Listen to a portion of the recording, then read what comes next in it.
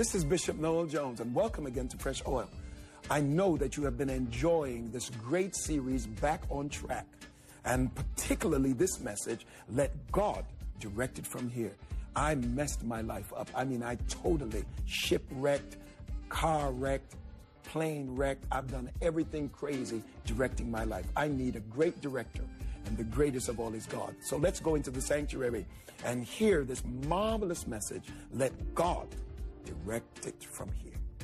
Godliness is practical. It is not something that is left just for church, but it's something you can use with a wife, you can use with a husband, you can use with your children, you can use with your friends, you can use on your job, you can use at home because the wisdom of God has got to be expressed by the child of God. Uh, I wouldn't want to raise my kids, and at 40 years old, uh, they don't know any of my wisdom and they don't express my wisdom. I don't only want them to look like me, I want them to overcome like me, achieve like me, have an attitude of victory like me. Whatever it is, it needs to be expressed. When you see a child of God, you see an expression of the mystical, an expression of the incarnate. You see a spirit that says, God is in me and I cannot be defeated. oh, I feel this thing today. It is here then that in decision making I have difficulty. And I must admit, that I oftentimes wonder why do I make such decisions? And and and for most of us, one of the most difficult parts of our life is in making decisions. How do I know this is the right one? Have I studied this thing long enough to make this decision? And sometimes decisions are commitments of life. Uh, one decision can take you or break you. Just, just one decision. And, and, and, and, and the, the greater the decision, the more you ponder it. And then you say to yourself, Am I thinking about this right? Uh, do I have all the information that I need? Or have I factored in that I don't have all the information when I make this decision? Is this a decision by faith or is this a decision by sight? Is it a hybrid? Is it a mixture of the two where I have gathered all I can gather and now I have to depend on God for the rest? Can I make this decision by myself? Or do I need to confer? Do I need somebody to help me? The, the, the greater the decision, the more the more stress that goes with making it. Because uh, the greater the decision, the more commitment of life and, and, and the more significant it is to be right. There are some decisions you can make and not lose very much doing it. But there are other decisions that if you make it, you can lose your mind, you can lose your emotion, you can lose your place in life, you can lose your money, and ultimately you can lose your life simply because of a decision. In the process of decision making, uh, God tells us through the writer, lean not to your own understanding. And now here comes the question because now I want to know why am I not to lean on my understanding? The word for understanding from the Hebrew is an interesting word. It is sha'an, and it means uh, to lean on someone or something as on a staff or as on a hand. It means leaning on something that's strong. So here's what happens I have now cast all my weight on something that is going to hold me up. And he says, Lean not on thine own understanding. In other words, I don't want you to put the weight of this decision on your mental capacity and cognitive energy, experience, or ability. God is talking to somebody who is making a decision. And what God is saying is lean not on your own decision making capacity. You need to talk to a confidant because you've got to watch who you lean on to help you to make decisions. Uh, oh, I feel that. You've got to watch who you allow input from before you decide to take an action. Because some people give advice that's self serving. They advise you not for you, but they advise you for themselves. Oh, I feel this. Uh, the question has to arise because I believe I've got some kind of smart. And so the question arises, why cannot I trust me? Lord, why are you telling me this? Why cannot I trust myself? After all, I've been through so many things and I've come over so many hurdles and I've dealt with enough people and I've had enough pain, but I've had some pleasure. So why is it that I cannot trust myself? And the answer comes back, and the answer is without any spiritual connection, you are not complete yourself. Oh God, I feel it here. Uh, without, uh, you're not safe enough for yourself to make the decisions about about yourself. Do you see what God is saying? I mean, uh, I mean, He slapped me dead in the face. What God is saying is that you don't have the capacity mentally to make the right decisions about yourself. You need to lean on something other than yourself or someone other than yourself to make the right decision for yourself. Are you dare telling me that, Lord, that I don't have the capacity to make the right decisions for myself. And God is saying, No, you don't.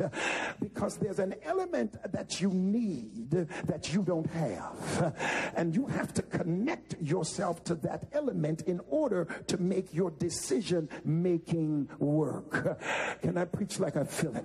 Uh, to lean upon my own understanding, he is saying, is to lean on a broken reed which will pierce the hand as Egypt proved when Israel leaned on Egypt.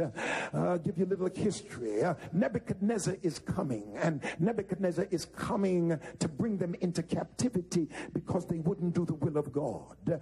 Because they did not want to take God's instruction, they decided they would make an allegiance with Egypt. So now they began to lean on Egypt. Here's how God talked about that. He said, Behold, thou trusteth upon a staff of this bruised reed. Can you imagine trying to lean on a fern?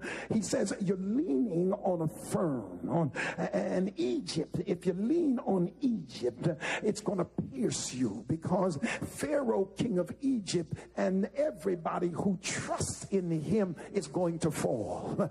You can't listen to bad advice and make good decisions. Uh, I feel it here. I feel, uh, God, who am I talking to? Who am I talking to?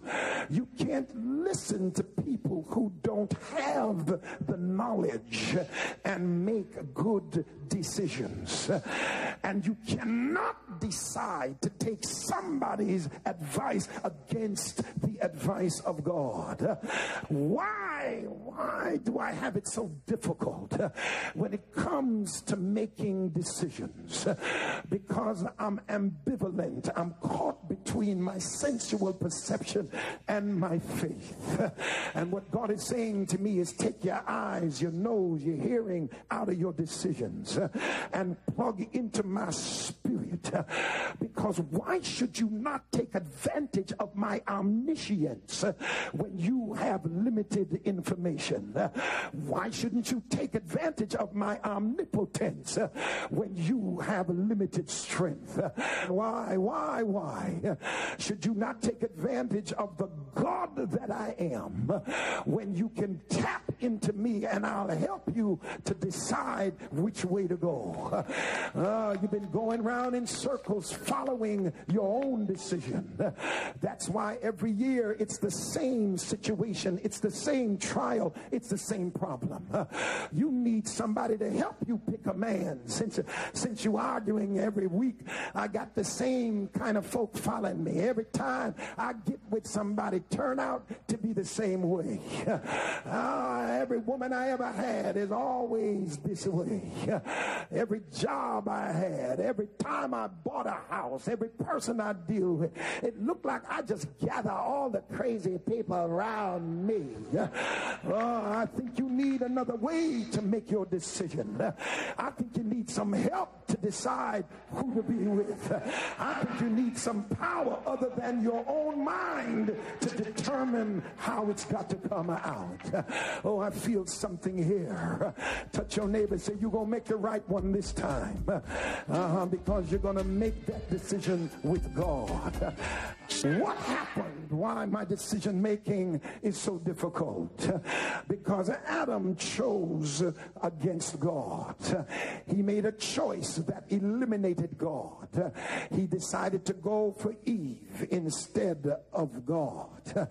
And so he went for the flesh. He went for the stimulation of the body. He went for the visage of the pulchritude and, uh, and uh, the euphonious sound of the voice. He went for the prettiness of the nose and the wonderful curve of the hips. And he walked away from God. Now, Paul speaks about it in this way in Romans 1:28. He says, professing themselves to be wise, they became fools. And even as they did not like to retain God in their knowledge, God gave them over to a reprobate mind to do those things which are not convenient. When God is not in your choice, men will choose men. When God is not a part of your choice making, women will choose women. Uh, uh, when God is not a part of your choice making, things get turned around. Because when God is not a part of who you choose, you will not choose what's best for you. You will choose what'll mess up your life. Oh, you got to keep God. Touch your neighbor and say, keep God in this choice. There is one thing answers the other. You don't want God, then God says, I don't want you. If you don't want me in your business, you know how we get. You know, God is the same way. You'll tell somebody in a minute, I don't want somebody that don't want me. Uh, if you don't love me, I well go. Why you think God is any different? if you don't want God in your business, he'll stay out. but if God is out of your business, you'll have the same old stuff you had five years ago, still following you, driving you crazy. you need to have God in the center of your business.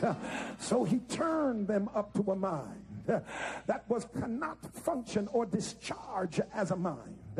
A mind in which the divine distinctions of right and wrong were totally confused and lost. So we end up with vision without direction. We end up with aspiration without guidance. We end up with plans without the ability to execute. Because in order to execute the vision, in order to attain the aspiration, in order for the plans to come true, you need direction. You need some who knows the way and who understands how to navigate. I feel the Holy Ghost in here. Can I preach like I feel it?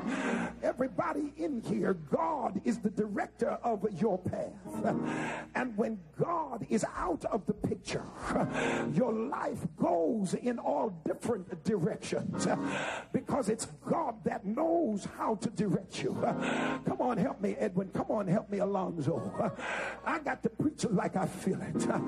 Tell your neighbor the devil wants you to collide with somebody, but God wants you to walk with somebody. I feel this thing here. When you don't have direction, you have aspiration, you got plans, but you don't know how to get there. So, in the darkness of your confusion, you keep bumping on folk. Every time you move, you're bumping on folk. Now, notice, if you will, if your life is guided by God and their life is not guided by God, I have the aspiration, but they become an obstacle when I have the aspiration but not the direction. But when I put the divine chip in, God knows how to steer me around and move me through. For a good man's steps by the Lord. I feel like preaching in here. Touch your neighbor. Said, don't make another decision without God. Can I preach like I feel it? Now, if his steps and his steps are ordered by the Lord, we can move around each other and never touch each other because God knows how to move us around. And at the end of the day, instead of colliding with your woman or colliding with your man or colliding with your boss or colliding with your family. When God begins to order steps, folk won't walk into each other, but they'll walk with each other. Because when God is handling the business, it'll work out just right. I feel like preaching here today. Touch three people, say, let God handle it. Let God handle your career. Let God handle your business. Let God work it for you. Don't make a decision without talking to God. I feel like preaching a minute. It's a funny thing that man doesn't even know his way. Yet, in spite of not knowing his way, he's puffed up and full of pride. I have never seen so much proud folk going nowhere. I wish I could talk to you. Ain't going nowhere but bragging. You can't brag on nowhere. Here's what Jeremiah said Oh Lord, I know that the way of a man is not in himself, it is in not in man that walketh to direct his steps. I need divine guidance. I am too valuable to give my life up to any old thing. I need divine guidance. I'm calling on the city of refuge to join hands in here today and tell the Lord we need divine guidance in every situation, in every personal affair. I want God up in my Kool-Aid. Can I preach like I feel it? Give somebody a high five. Say, I'm not going down an aisle without God. I ain't signing a contract without God. I ain't going in business without God. I'm not going to have anything to do with it if God is not in it. I might as well preach like I feel it. He said, trust in the Lord. And the word trust is bataha, which means be stretched out.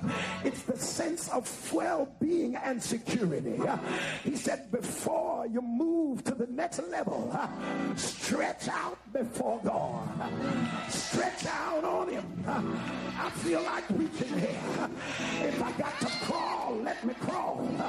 But I ain't moving till I get divine unction. I'm not doing it till I get direction from the Lord. Touch somebody and say, stretch out. Stretch out till you hear his voice. Let him wait. I feel like preaching. You in too much of a hurry. Wait till I talk to God. Wait till I hear from the Lord. Stretch out till you the victory.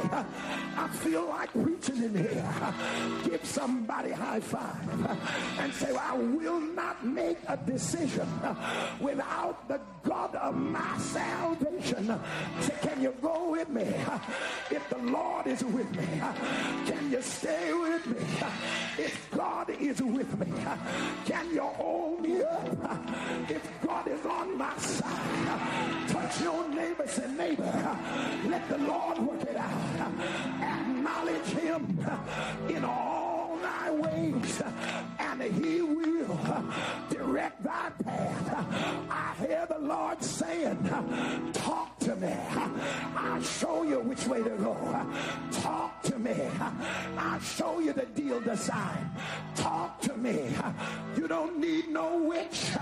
You don't need your stars read. You don't need no horoscope. All you gotta do is acknowledge me in all my ways. I'll show you the snakes. I'll show you the whisperers. I'll show you the liars. I feel like shouting in here. Shake somebody's hand like you're going to shake it off and say, don't do it unless you talk to God. Don't say it unless you ask God. Don't walk till you talk to God. God will direct your path.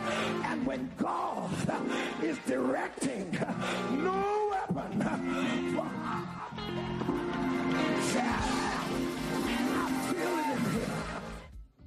A good man's steps are ordered by the Lord. I know you've heard it. I know you believe it. And I need God to order mine as well as yours. He needs to order all of us, or else we'll all crash in great collision and just ruin everything that He has orchestrated for us. I'm going to pray. Dear Father, in the name of Jesus, we are giving you the right to direct our lives because we know, Lord, with your omnipotence, with your omniscience, we cannot go wrong to give it to you. So please, Lord, direct us, please. And we claim it done in Jesus' name. Amen. I want you to come back next week for more of this great, great, great series. We are dealing with being back on track. Come back and see us on Fresh.